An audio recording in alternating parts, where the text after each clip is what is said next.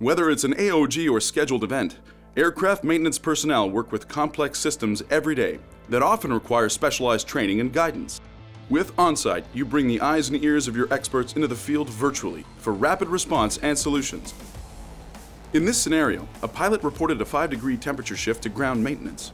The maintenance technician needs advice from Pratt & Whitney Canada to determine troubleshooting next steps. Hi Dalton, it's Kevin in Hangar 20. We've got a pilot that reported a 5 degree shift in engine temperature today, and we're wondering what you'd like us to take a look at. No problem, Kevin. We could launch an Onsight session if you want, and we could look at the engine for you.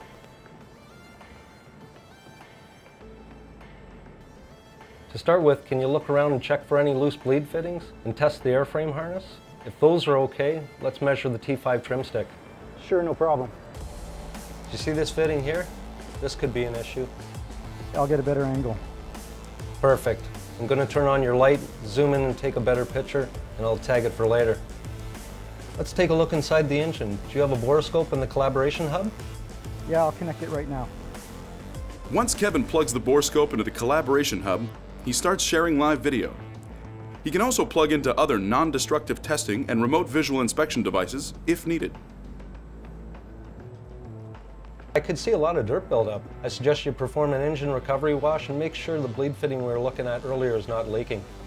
Sounds good, Dalton. Thanks for the help. I'll let you know what we find.